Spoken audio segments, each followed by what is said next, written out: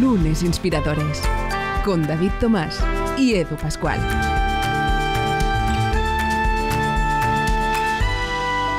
¿Qué tal? Bienvenidos a Lunes Inspiradores, hoy donde hablamos de un deporte que a mí eh, especialmente me encanta, pero con más motivo le gusta a David Tomás. ¿Cómo estás, David? Bienvenido. Cuéntanos, ¿por qué te gusta y tienes esta relación especial con el rugby? No, bueno, más que yo, mi padre, que sé que Claro, claro, por le, eso, por le va a gustar. Hoy vamos a hablar de rugby y sé que se va a poner contento porque hoy empezó a jugar hace años de, de joven, jugó en Madrid, en Barcelona y seguro que va a disfrutar hablando de, de rugby y de liderazgo, dos temas Oye, claro que sí. muy importantes. Aprende a sumar, cómo crear, hacer crecer y liderar eh, equipos. Hoy con nosotros Pablo Gutiérrez. ¿Cómo estás, Pablo? Bienvenido. Pues muy bien, encantado Edu y David de estar con vosotros y hablar de, de liderazgo y, y de rugby. Oye, qué maravilla, qué, qué- qué deporte más noble, ¿no? Que es un poco de los primeros adjetivos que te vienen a la cabeza cuando oyes hablar de, de- de rugby y ves, pues concretamente, a esos jugadores que los ves salir al campo y piensas, madre mía, así es como entran, así es como salen también, ¿no? es un deporte, un deporte duro, pero sin duda con una tradición eh, increíble y extraordinaria. En nuestro país tenemos ocasión también de tener grandes deportistas, como evidentemente lo fue el padre de David Tomás, como evidentemente pues eh, muchos de los que nos acompañan y también aquí para muestra un, un botón Pablo Gutiérrez con este libro que nos viene a descubrir. Si os parece, eh, antes de empezar, vamos a repasar cuál es el reto líder de esta semana. David, adelante. Mira, esta semana vamos a coger una idea que le, inculcaron a una, a una famosa, digamos, emprendedora, la, fundadora de la marca Spanx, Sarah Blakely, que es muy curioso porque cuando ella era pequeña, su padre cada, no, cada día, no, cada semana eh, cogía a ella y a su, a su hermano y les preguntaba, ¿dónde habéis fallado esta semana? Y si no tenían un ejemplo de fallo, pues su padre no estaba contento, porque lo que quería es que aprendieran a fallar, sobre todo para que luego hicieran muchas cosas, ¿no? Y acabaran teniendo éxito como ha sido el que ha conseguido Sarah Blakely. Así que cogiendo esta idea de dónde hemos fallado esta semana, el reto líder de, que tendremos esta misma semana va a ser aceptar el fallo, ponerlo en marcha, no tener miedo a equivocarnos y lanzarnos en aquellas cosas que, que tengamos delante. No tener miedo al fallo esta semana y cambiar nuestra actitud. Oye, pues fantástico, claro que sí, claro que sí. Ese es el reto líder de esta semana que os plantea David Tomás y que evidentemente estáis más que invitados a, aplicarlo en vuestro día a día, en vuestras semanas y que como siempre también os transmitimos aquí a través de lunes inspiradores en su ya séptima temporada. Ahora sí, Pablo, cuéntanos, ¿qué es para ti un lunes? Bueno, pues para mí un lunes quizás es la oportunidad de, de resetear, ¿no? De resetear y de, y de coger la semana con, con ilusión y con ganas, ¿no? Entonces siempre, la verdad es que eh, yo soy muy positivo, eh, sabéis que mi lema es avanti, siempre avanti, y entonces, bueno, todos los lunes me despierto con, con ganas y con ilusión de, de enfrentarme a una nueva semana y de hacer cosas nuevas. Oye, pues fantástico, exacto. No hay como tenerlo claro y esa ilusión, evidentemente, que genera un lunes por todo aquello nuevo que, que nos depara la, la semana. Todos aquellos retos a, a superar y más teniendo en cuenta de lo que hablamos hoy, que es ese- esa sensación de hacer crecer, de generar y de liderar, liderar equipos, algo que no es fácil, pero que si se hace bien realmente da unos resultados maravillosos. David, vamos a descubrir la trayectoria de nuestro invitado de hoy. Adelante. Claro que sí, vamos a hablar de, de tu trayectoria. Hablaremos también pues, de tu libro Aprende a Sumar, por supuesto, que habla de, de rugby, de liderazgo. Y vamos a revisar un poco tu trayectoria. Me ha parecido curioso, pues la semana pasada tuvimos a Sergio de la Calle, que él ha estado pues 25 años en Telefónica, sigue, sigue allí. Tú has estado, Pablo, más de 20 años en lo que sería a día de hoy Orange, ¿no? En las distintas evoluciones, ¿no? Pero bueno, ahora también arrancando un nuevo proyecto personal que, Mm. por supuesto, nos contarás. Nosotros, Pablo, nos encanta empezar entendiendo un poco los valores que tú tenías en tu familia y, claro, lo, lo cuentas en tu libro, tú eres el sexto de doce, ¿no? O sea, que es una no, no familia numerosa, no, ya familia súper numerosa. Cuéntanos cómo fue crecer con 12 o con 11 hermanos, ¿no? Y, y lo que vuestros padres os intentaban inculcar o, bueno, al menos eh, que desarrollaseis como valores. Sí, pues bueno, sin duda, mira, yo comento mucho, David, que eh, yo he llegado a lo que he llegado a ser básicamente por los valores que me han inculcado en, una familia, vivir en una familia numerosa y luego pues en los valores que me han inculcado el rugby, jugar al rugby y qué es lo que he intentado al final pues poner en práctica, ¿no? Y a la hora de liderar y gestionar equipos, a la hora de tratar personas, he intentado de, inculcar esos, esos, valores que a mí me han transmitido en, en, mi vida profesional. ¿no? Sí que es verdad que cuando estás en una familia numerosa, eh, no te das cuenta hasta que eres mayor, porque, eh, bueno, pues yo siempre heredaba la ropa, heredaba los eh, libros de texto, pues me acuerdo que había dos turnos para, para comer y para merendar, entonces ahí la puntualidad tenía que ser pues bueno, uno de los valores a destacar, porque si llegabas diez minutos tarde a merendar, pues no, no te quedaba merinda. Entonces, bueno, sí que es verdad que, que todo lo que es compartir, pues el espíritu y sacrificio, ¿no? Porque bueno, ahora que mis padres que ahora no están, ¿no? Pero todo el sacrificio para sacar a 12, em, pues a 12 hijos es importante, ¿no? Y aparte luego hay una cosa curiosa que de los 12 hemos estudiado 10 carreras distintas. No sé si es Guinness de los récords, pero tiene que estar cerquita.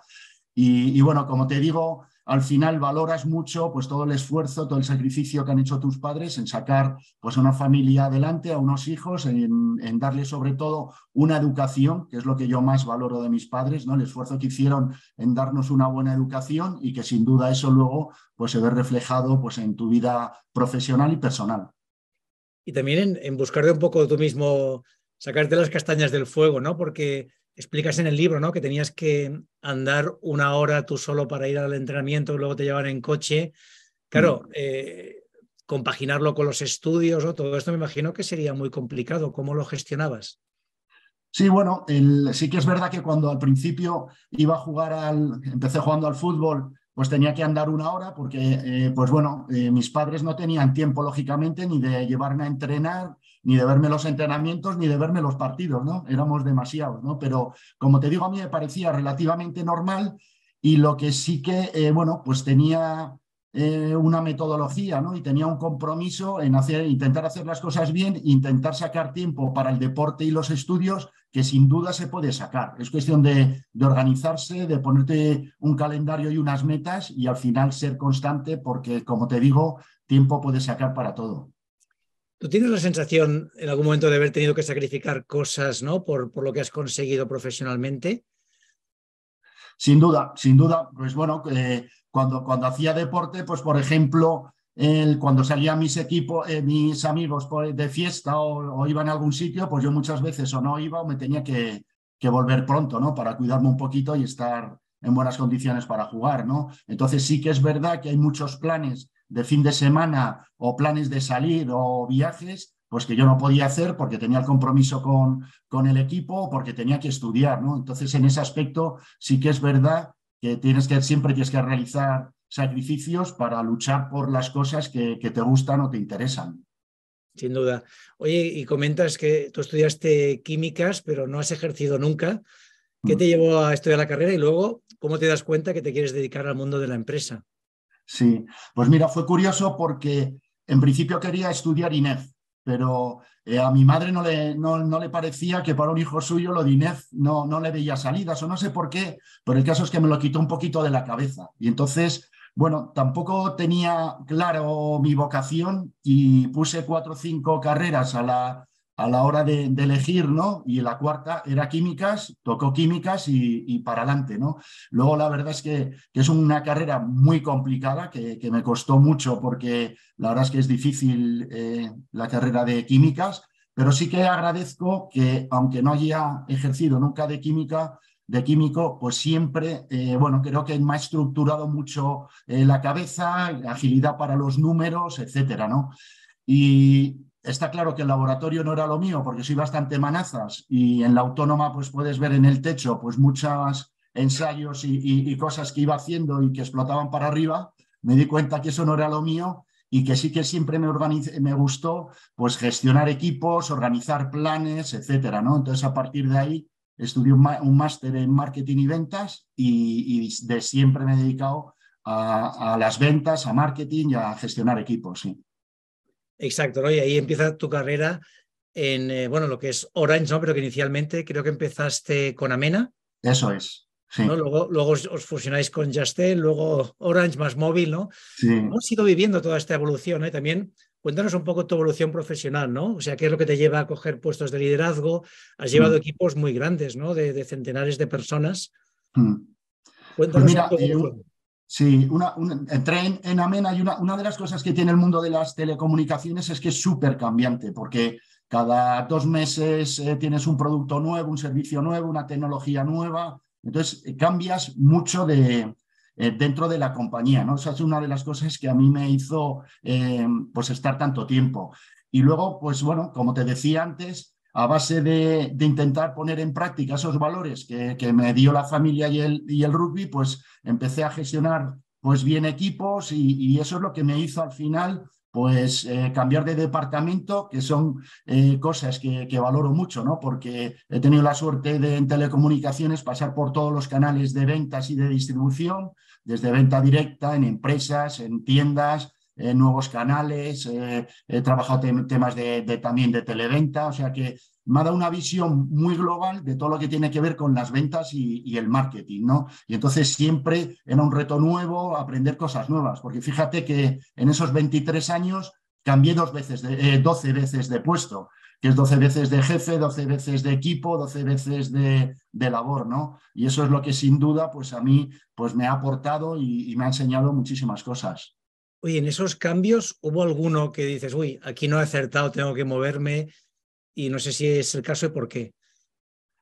Bueno, eh, pues sí, y no acertado y no aciertas normalmente por el jefe que tienes. Y a veces no he tenido, eh, bueno, de, yo creo de los 13 cambios, pues he tenido un par de jefes que, mm, pues bueno, quizás no, no, no, gestionaban, al final no gestionaban bien personas por temas de, egos y, y, yo no estaba cómodo, ¿no? Entonces, ahí lo que intenté es, eh, cambiar de, departamento, ¿no? Pero en general he tenido muy buenos jefes de los que he aprendido un montón, pero sí que es verdad que en, dos ocasiones no los tuve y ahí el consejo es, la vida es corta y tienes que intentar eh, trabajar siempre con gente que te aporte, que te ayude, que te inspire, ¿no?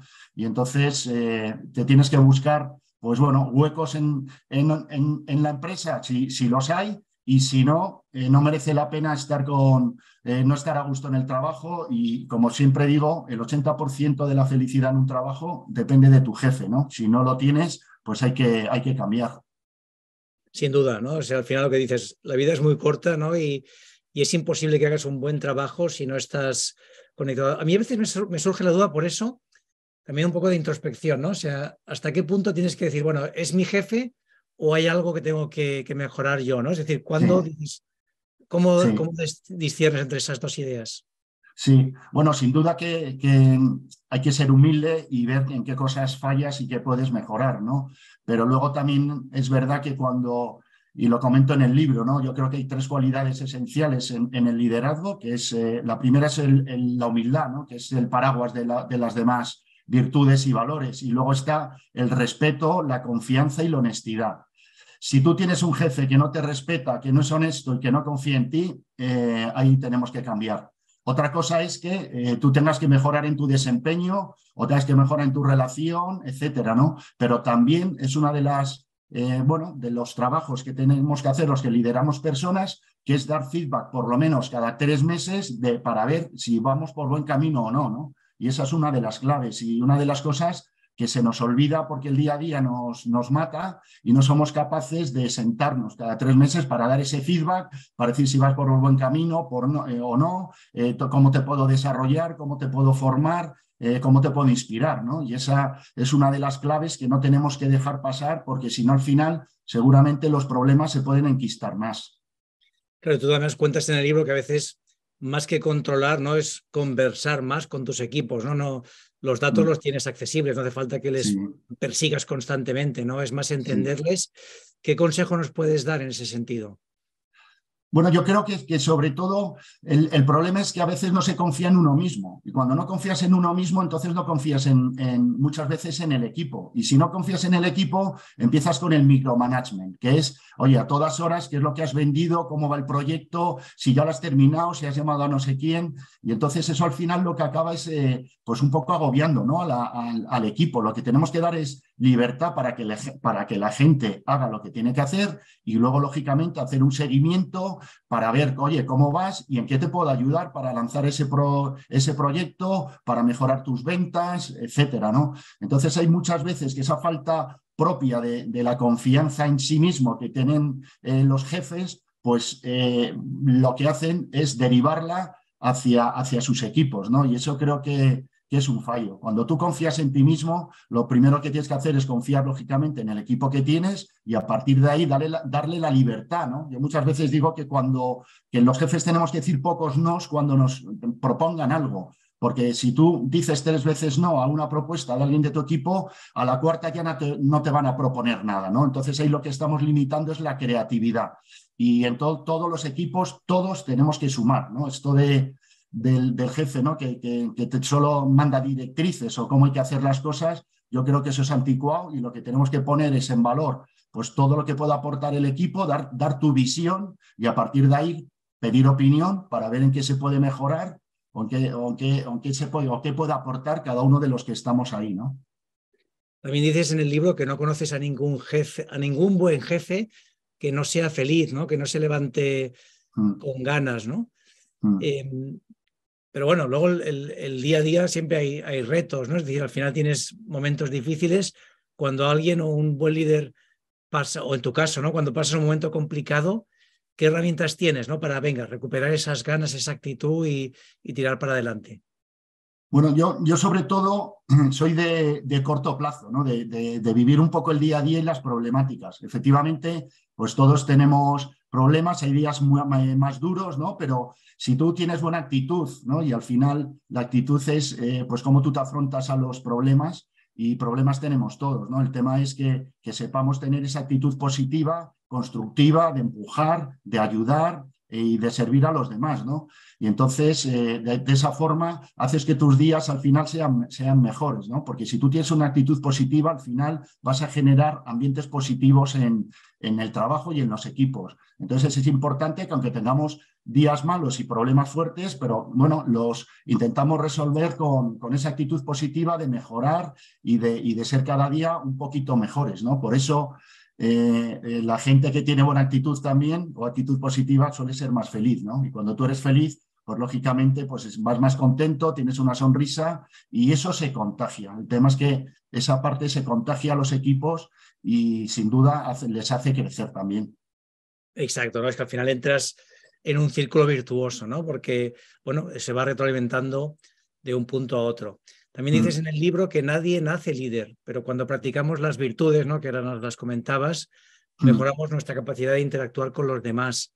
Mm. Claro, eh, esas virtudes, pues eh, en tu caso o en mi caso hemos tenido la suerte ¿no? que de casa nos las han dado ¿no? y oye, y tenemos que estar muy, muy agradecidos, ¿no? pero si no te las han dado en casa, si no te han tratado con respeto, ¿no? si no te han eh, enseñado la, la, importancia de la honestidad, ¿qué haces? ¿no? ¿Cómo se puede conseguir que alguien le dé la vuelta a esto? Claro. Sí, yo siempre digo que eh, las virtudes al final es repetición de actos buenos, ¿no? Entonces, si tú quieres, eh, pues bueno, trabajar, por ejemplo, la puntualidad, pues lo que tienes que hacer es intentar ser puntual, ¿no? todas las veces, ¿no? No porque llegues una vez pronto a una reunión vas a ser puntual. Entonces, lo que sí que es verdad es que tú, al trabajar una, una virtud o un valor, lo que vas a hacer es empujar al resto, ¿no? Porque si tú eres una persona, por ejemplo, honesta, pues seguramente sea una, seas una persona pues que a, la que se le respete o sea una persona a la que se tenga más confianza o al ser honesto seguramente se trabaje mejor contigo en equipo. Es decir, eh, cada uno de esos valores y virtudes que tú vayas poniendo en tu día a día y vayas esforzándote en tu día a día van, van a hacer que empujen el, el resto y por lo tanto al fin pues bueno, que tengas una capacidad eh, mayor de liderar, ¿no? Porque en cuantas mejores y mayores virtudes humanas y valores tengas, pues vas a tener mucha más capacidad de inspirar a los demás, de desarrollarles, de formarles y, de servirles, ¿no? Y ese es un poco el trasfondo de, bueno, del liderazgo humano, ¿no? Que en el que creo y el que, eh, bueno, mi experiencia me ha, demostrado que, que, es el buen camino. Sin duda, ¿eh? ahí estamos muy alineados lo que dice al final, el liderazgo es servir, ¿no? No es justamente ordenar, sino más bien servir. Mira, te, mm. hago una pregunta que justo me la hacía hace pocos días el CEO de una empresa pequeñita, una empresa de, 10 personas, me decía, mira, tengo eh, una persona en mi equipo que hoy es muy, muy responsable, hace bien su trabajo, lo hace bien y estoy contento. Pero, y ya llevamos eh, bastante tiempo, que siempre llega tarde. Es decir, me llega una reunión, llega 10 minutos tarde, ¿no? Tenemos una visita llega tarde, ¿no? Y entonces hablo con él y no hay forma de que llegue puntual y no sé qué hacer y me, pedía consejo ¿tú qué le dirías? ¿Qué, le, le, recomendarías? Bueno, yo creo que lo que hay que hacerle ver es que, cuáles son las consecuencias de que él llegue tarde, ¿no? Porque efectivamente, y volvemos un poco a lo mismo, ¿no? Tenemos que respetar el tiempo de los demás.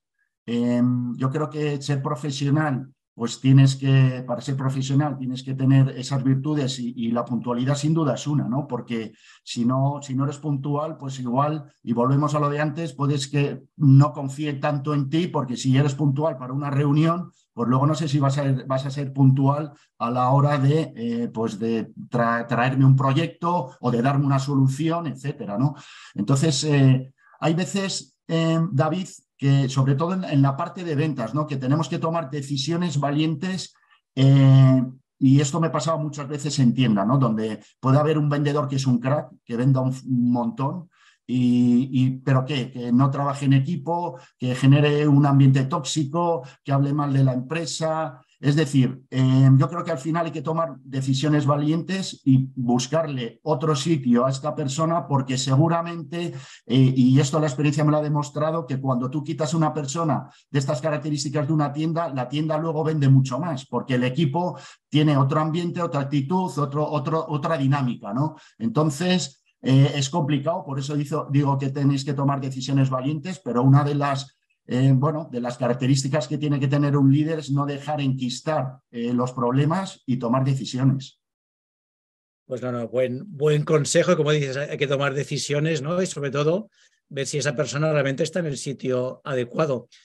Eh, oye, me estoy preocupado porque te estoy preguntando muy poquito de rugby. Vamos a hablar un poco de rugby, que si no, luego mi padre me va a reñir. Me va a decir, oye, no has hablado, de rugby. A mí me, me gusta mucho, cuentas tu último partido, ¿no? El último partido que juegas, que además estáis a punto de ganarlo, pero al final ese partido no, no se gana, ¿no? Cuéntanos un poquito mm. ese, ese último partido, los problemas que tuvisteis también eh, económicos en el equipo, cómo os ayudasteis, porque creo que es una historia muy, muy bonita y que en el libro, pues, bueno, al menos te inspira. Sí, bueno, pues mira, eh, estaba jugando en el, en el, mejor equipo que había en España, que era la Moraleja. Yo jugué en, arquitectura toda la vida, fiché por la Moraleja y un equipo que se hizo un poco a golpe de talonario porque fue el primer equipo profesional en España. Y bueno, teníamos eh, dos o tres jugadores neozelandeses, había un ucraniano internacional, checo, dos franceses y luego muchos jugadores internacionales en España que fichamos por ese equipo.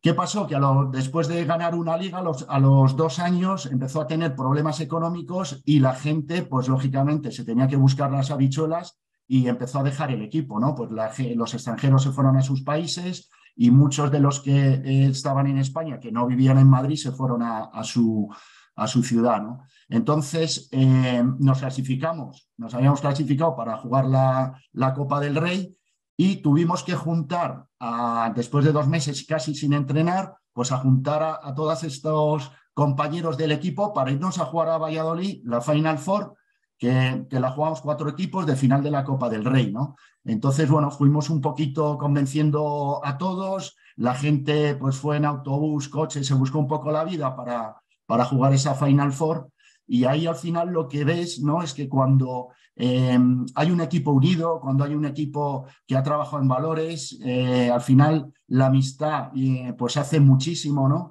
Y nos juntamos todos, jugamos una semifinal súper dura contra el Samboy de, de Barcelona que, ganamos y luego eh, al día siguiente teníamos una semifinal que salimos por ahí de, de, cena y porque ya teníamos previsto que fuera un poco pues la, la última vez que nos íbamos a ver todos, ¿no? Y teníamos una cena prevista y salimos a cenar, algunos llegaron bastante tarde, pero bueno, el, trasfondo es que esa amistad y esa unión equipo hizo que juguemos o jugáramos una final espectacular, que perdimos de tres puntos y estuvimos a, punto de ganarla.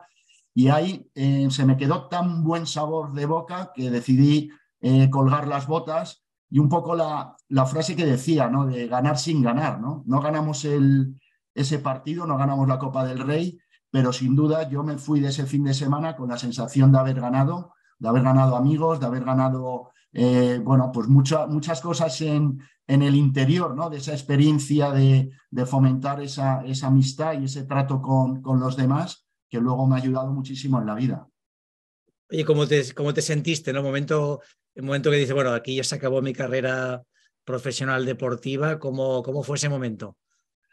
Bueno, la, verdad es que mm, lo hice, no sé, yo tenía esa sensación de que lo tenía que dejar eh, en lo más alto, ¿no? Y entonces, pues ese partido, que, era jugar una final ¿no? de, una Copa del Rey a nivel nacional, pues quizás eh, era la oportunidad, ¿no? También yo me retiré con 33 años, aunque físicamente estaba fenomenal, pero bueno, también creo que, era tiempo, ¿no? Y luego eso sí que también lo he intentado eh, aplicar en mi vida profesional. yo creo que es muy bueno que se hagan cambios por lo menos cada cuatro o cinco años y, cambiar de, labor, o sea, cambiar de, o de departamento, hacer, hacer otras cosas, ¿no? Porque si no te enquistas y si te enquistas y haces diez años siempre haciendo lo mismo, eso es muy complicado. Yo creo que hay que cambiar, sí que es verdad que ahora la vida, ¿no? Y con tanta startup y la gente eh, pues joven se mueve muchísimo más, pero yo creo que es muy bueno eh, trabajar en otras empresas, otros departamentos, otras funciones, otros equipos, porque de todo vas a aprender, ¿no? y además que lo has aplicado, porque tú empezaste con, con Amena, eh, Chastel, Orange, eh, Más mm. Móvil, ¿no? Has estado en, mm. en, las distintas compañías, pero además hace poco te lanzas a un nuevo proyecto. Cuéntanos este, este momento, ¿no? Que dices, bueno, llevo más de 20 años en una compañía y estas salidas entiendo que son complicadas tomar esa decisión, decisiones en casa que te dijeron, si lo tuvieron claro, o era, oye, ¿cómo, ¿cómo doy el siguiente paso? Sí, bueno, la gente la verdad es que no lo entendía, ¿no? Porque pasa como con la final de la Copa del Rey. Eh, en ese momento, pues llevaba la dirección de, pues bueno, de, ventas de retail de horas, donde gestionaba 800 puntos de venta, 3.000 comerciales, tenía un equipo espectacular que me hacían la vida muchísimo más fácil, sin duda, y estaba quizás en el mejor momento, ¿no? Pero también creía que era eh, también momento de, hacer, de hacer un cambio en mi vida, ¿no? Porque llevaba, como decimos, 23 años en, la misma compañía, aunque como hemos comentado, con 12 eh, puestos distintos, pero mm, mm, tenía ese, ese, gusanillo por dentro de hacer otras cosas, ¿no? Y son, eh, pues bueno, las cosas que, que, estoy haciendo, ¿no? Entre ellas es escribir el libro que acabo de editar, eh, estoy dando, pues bueno, charlas y ponencias sobre tema de liderazgo y gestión de equipos. Me encanta formar y me encanta transmitir estos valores al, pues a la vida profesional, porque en algunos casos, como te decía, pues no he tenido la suerte de encontrarme esos valores y yo creo que si puedo ayudar a alguien en, en, bueno, en mejorar ese liderazgo, esa gestión de equipos, pues ya estoy pues súper bien pagado. Claro, aparte tienes tú un, un, bagaje, una experiencia que para cualquier empresa vale muchísimo, ¿no? Entonces, ¿lo, afrontas como profesional independiente o te planteas eh, crear alguna compañía? ¿Cómo, ¿Cuál es tu idea? Bueno, ahora mismo, David, estoy como autónomo, que acabo de, de, hace 15 días, ¿no? De, darme de alta en, el régimen de, autónomos y vamos poco a poco, ¿no? Sí que es verdad que seguro que el libro ya me está ayudando, ¿no? Y, a dar ponencias y charlas Em, también algunos temas de consultoría de, retail. Estoy también trabajando en algunos temas de, retail que me apasiona, ¿no? Las ventas y, las tiendas eh, es la otra eh, cosa que, me apasiona. Y bueno, estoy conjugando estas dos cosas y, por ahora la verdad es que mi horario lo tengo súper lleno, ¿no? Y, gracias a Dios, pues bueno, estoy haciendo pues ese, ese, mismo horario, pero también haciendo pues cosas que me gustan y donde creo que puedo aportar en, las empresas o a la gente.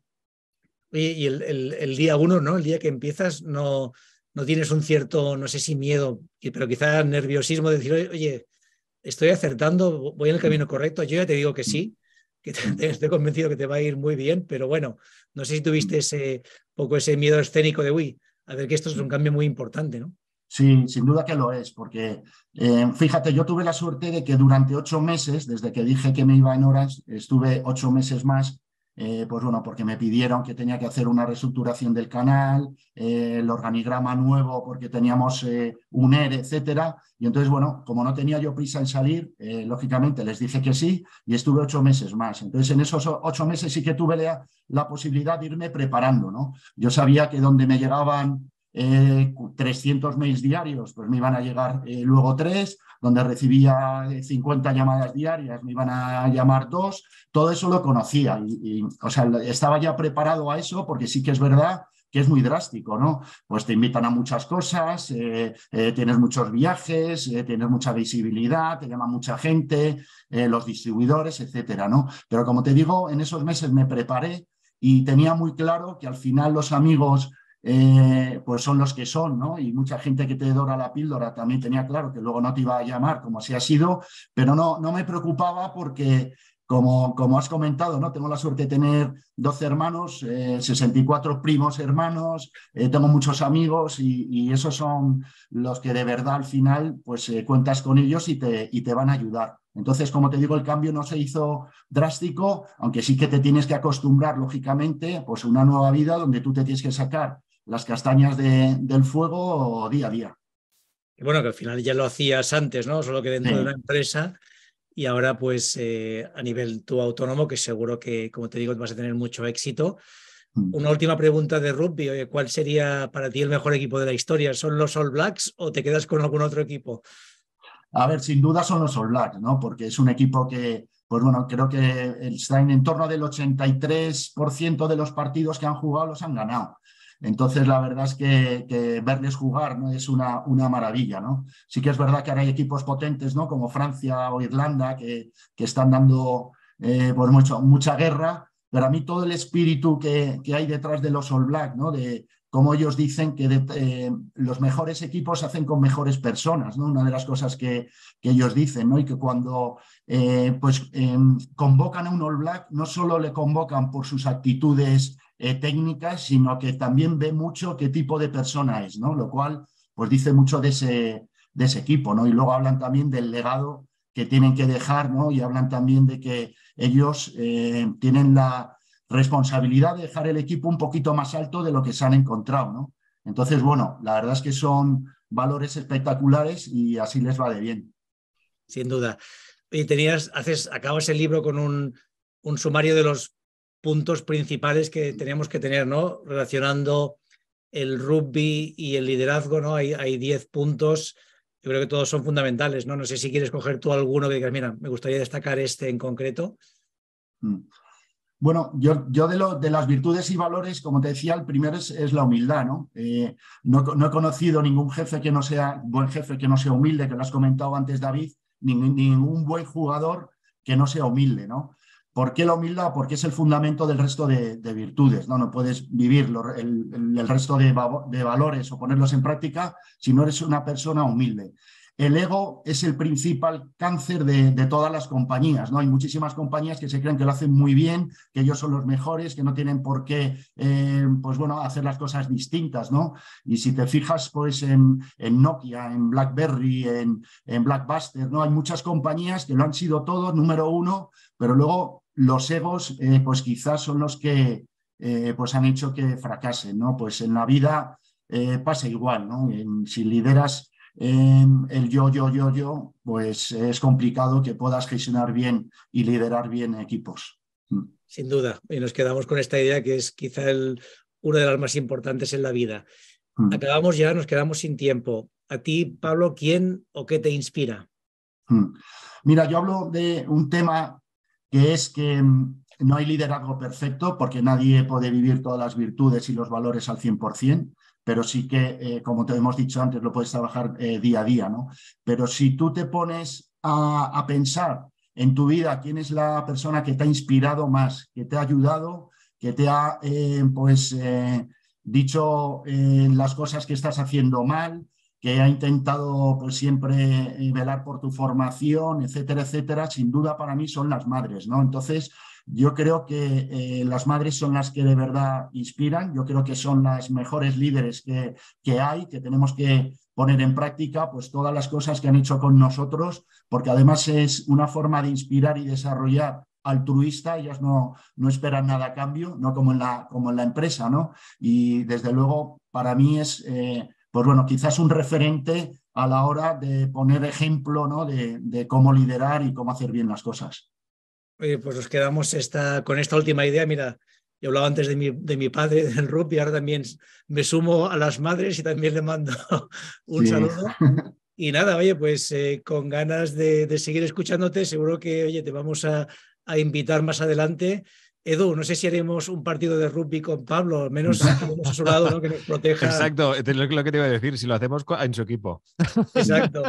Si no partido de rugby, al menos un tercer tiempo, Edu. Eso claro, exacto, eso es verdad, eso es verdad, eso es segurísimo, esa es la mejor parte del, rugby. Bueno, oye, qué maravilla, qué, fantástica la, trayectoria, ah, pues evidentemente la que se embarca ahora mismo nuestro invitado y la que lleva a sus espaldas una extraordinaria trayectoria deportiva como profesional de un deporte tan, tan fantástico, tan duro, pero como decíamos a su vez también tan noble como es el rugby. Pablo, ha sido un auténtico placer eh, oírte charlar y evidentemente te deseamos eh, toda la suerte. Pues mil gracias a vosotros. La verdad es que se me ha hecho súper corto este, este tiempo y, encantado de, eso, de hablar de rugby, poner el granito de arena en un liderazgo humano, que creo que es el que al final triunfa. Desde luego. Pues un fuerte abrazo, Pablo y David, que les decimos a las inspiradoras e inspiradores en esta semana que empieza. Pues a recomendarles Aprende a sumar de Pablo Gutiérrez, un buen libro para aprender, además de rugby, de liderazgo y relacionar esas ideas y, y convertirnos en mejor líderes acordaros del reto líder, esa idea de Sarah Blakely de esta semana, dónde os habéis equivocado, dónde has fallado y no tengas miedo pues a, equivocarte, toma la iniciativa. Y luego lo último, por favor, sabéis que esto es súper importante para nosotros, que cada vez seamos más, hacernos un comentario, dejarnos una, una, estrellita, ¿no? Dejarnos varias estrellitas que os gusta el podcast y como siempre, pues mandarnos mensajes que estaremos encantados de recibirlos y de responderos. Feliz semana a todos y que disfrutéis muchísimo. Gracias, adiós. Suscríbete a nuestra cuenta de iVoox, Spotify, Apple Podcast y a nuestro canal de YouTube.